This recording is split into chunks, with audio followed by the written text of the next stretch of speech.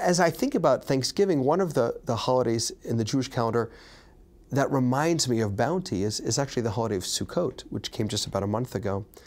And what's interesting about Hanukkah, uh, and forgive me for the history lesson, is that Hanukkah is actually Sukkot postponed.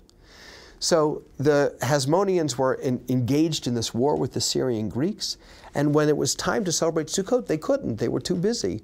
And so finally, after the temple was cleaned and repurified, then they celebrated Sukkot, an eight day holiday, and that became Hanukkah. So there's this wonderful um, sort of triangulation of Thanksgiving, Hanukkah, and Sukkot. Sukkot being a celebration of bounty and harvest, uh, which gave birth to Hanukkah and which now coincides with Thanksgiving. Hanukkah has been so closely linked with, with Christmas, which, by the way, should not come as a surprise. In the darkest time of the year, we're all yearning and searching for light. And so Christmas is a holiday of light, Hanukkah a holiday of light, Kwanzaa a holiday of light. So I think that sometimes we um, get uncomfortable with the proximity or the, or the, the relationship that Hanukkah and Christmas have, have, uh, have built together. And certainly there are very different messages, and Christmas is a far more important holiday than Hanukkah. But I think again, even there we can find core messages, messages of light, bringing light into our dark world. For non Jews and Jews alike, an important message that Thanksgiving and Hanukkah can give us is that there are different ways that we can approach the struggle for religious freedom. For the pilgrims, it was to leave their homeland. It was to go to a land that they didn't know and to leave everything behind and we, we sort of think about this brave journey, this courageous journey that they made. I think we sometimes forget about how difficult it must have been for them to leave their entire lives behind, their families. Um, for the Hasmoneans in the time of, Mac, of the Maccabees, um, it was to fight back against a, a, a ruling and brutal uh, uh, authority that was suppressing them. And yet, for others today in America, we don't leave our homes, we don't fight back, but we are still engaged in that struggle. And so I, I think that, that perhaps for non Jews and Jews, it's to look at the breadth of responses that we've had throughout time to the struggle for religious freedom. And what is that struggle going to look like for the next generation? How are we going to teach our children what it means to honor and to respect different cultures and different traditions?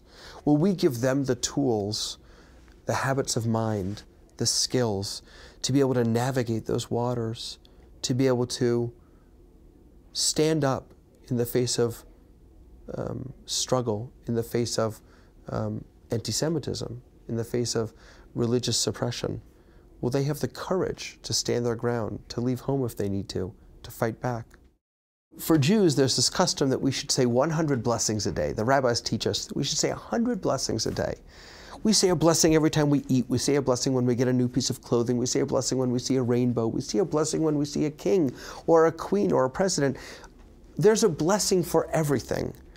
And for a Jew to stop at every given moment and to just be thankful, to acknowledge that we're blessed, that's something that's so core to who we are. So we do have holidays that celebrate thank- thankfulness. Of course, Hanukkah is one of them. But so much more than any one holiday, it is a part of who we are. It's a part of what it means to be a Jew, to live a thankful life. If Thanksgivukkah can be a spark that allows us to bring a little bit of the Hanukkah light into um, a Jewish person's Thanksgiving table, then that, that's a gift. The challenge is what happens after that spark is ignited? Are we able to, to nurture that spark? Um, that's something that we take really seriously here at the school, that every child has a spark. And our job, and Thanksgiving is a tiny, tiny piece of that, is to nurture that spark and to help it grow. That's the real work of engaging people in religious life. For whatever reason, uh, Thanksgiving has never been a big part of my own practice. I think maybe it's because I'm a vegetarian and tofurkey just isn't as satisfying as a real turkey, maybe. Um, but as I think about this year, I want Thanksgiving to be a more meaningful part of my family's life. Because we're Jews and because Hoda'ah, Thanksgiving, is such an important part of who we are, we're constantly talking with our children. I have three daughters about what they're thankful for. It's an important part of our lives. But I think that this year, on Thanksgiving, on Thanksgivukkah, um, we're also going to be bringing the story of the pilgrims to our table. We're going to be renewing our connection to how blessed we are to be in this country at this time in history. That's something that I've never really celebrated to the extent that I think I will this year. And so I'm, I'm very thankful to Thanksgiving for that.